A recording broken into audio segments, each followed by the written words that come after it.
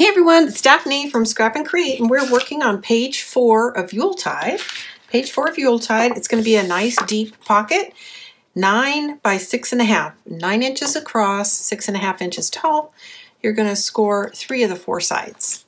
And then on top, we are going to have a flap closure that'll keep everything inside the pocket, and that is eight by three and a half, eight by three and a half, you're to score a half inch on the three and a half inch side. Okay, so let's get started. Find my pick tool, which I don't see. It's currently blending in somewhere. So I'm just going to use this in the meantime because it will take the tape off.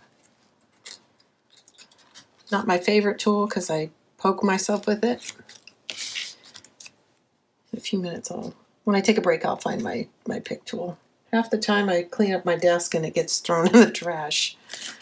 I I, I get a little overzealous and throw away useful tools.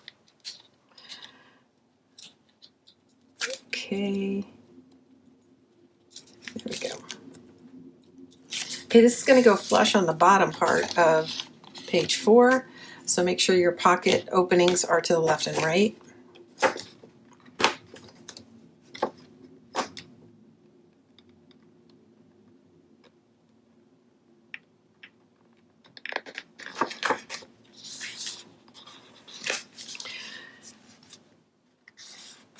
There we go. Nice. I got a little bit of a pencil mark here, so I think that's where I plan to cut it. Okay, there we go. And then this flap is going to go on the top.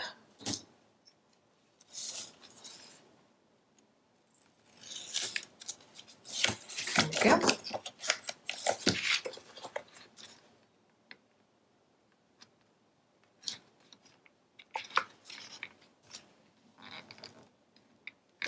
Shoot. That grabbed a little soon. Let me try to pull it off. Start again. Mm.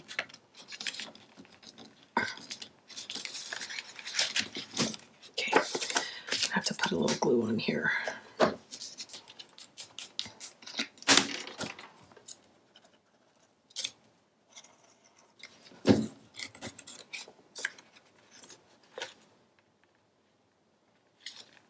Normally I like to put one corner down and pivot the paper until I feel like it's right in place.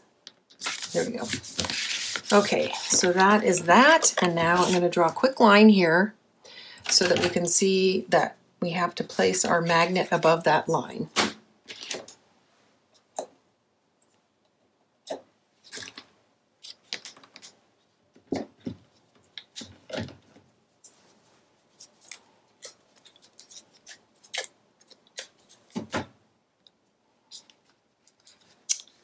So I'm going to place it right here.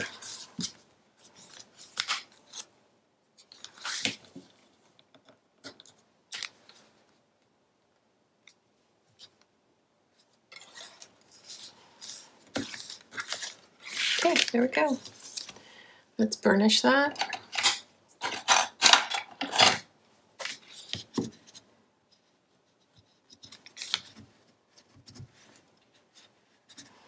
Okay, good.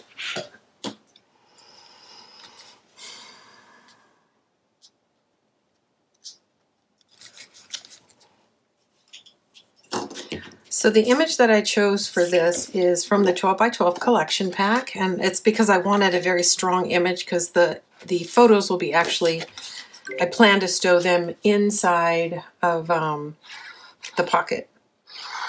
So the outside of the um, the pocket is really decorative.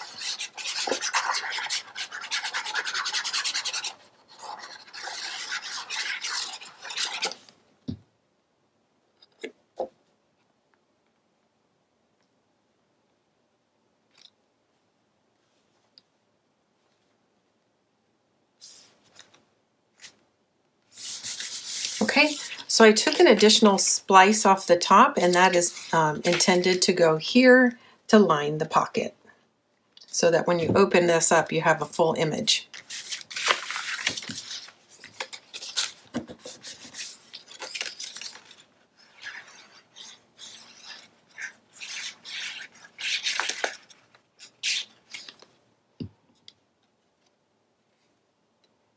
So, almost put it in upside down.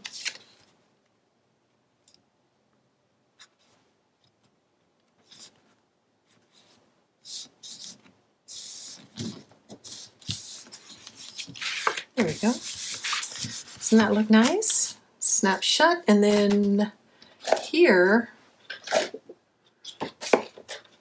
I'm going to take the rest of the 12 by 12 that was trimmed off and make the cover the flap.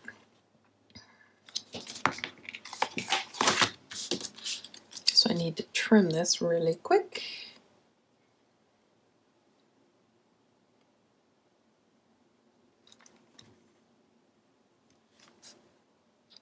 Okay, right back.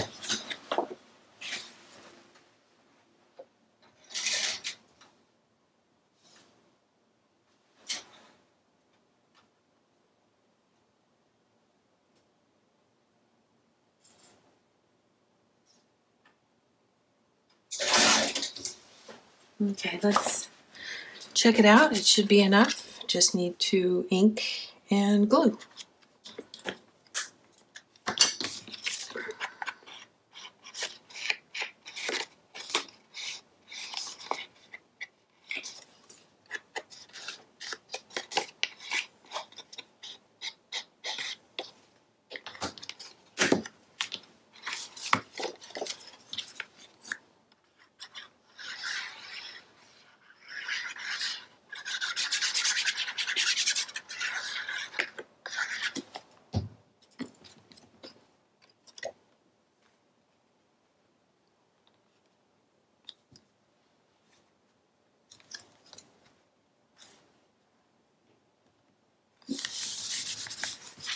There we go. Now we need to find something for the B side, so give me a minute and I'll be right back. Hey, it's me, I'm back. I trimmed this off of the 12 by 12 collection pack and it has most of the pages this and then there's a little floral spray um, down on the corner. So I just thought it was nice to pull this pattern back in. So we'll ink it, lay it down.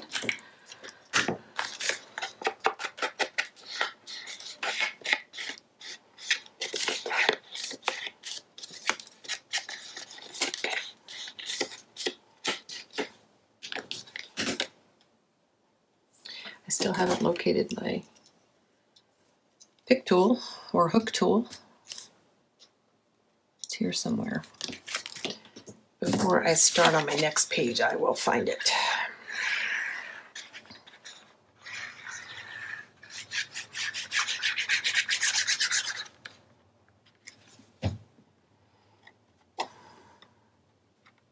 I think I'm going to put that little little tiny bit of lace on the top.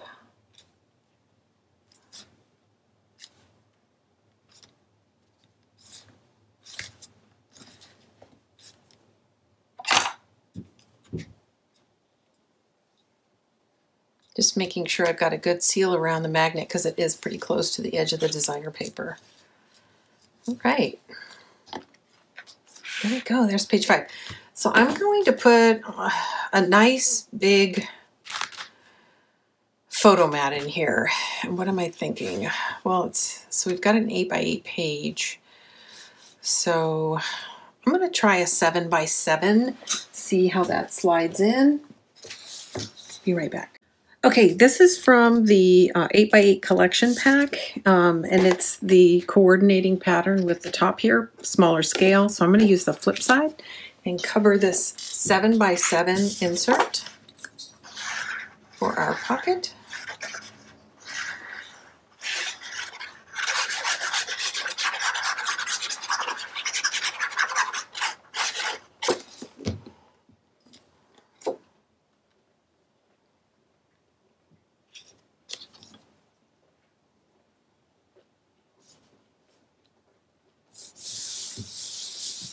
Okay, and then depending on how much um, is left at the end, um, I may decide to actually cover the backside, but I'm going to leave it uh, just the way it is for now.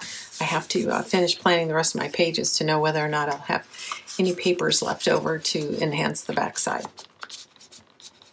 Okay, and then you still see that same pattern coming into play here. The other thing I'm might do is put the dark brown cardstock behind it just so it stands out a little bit more against the pocket. Okay, so that is page four. Be back soon.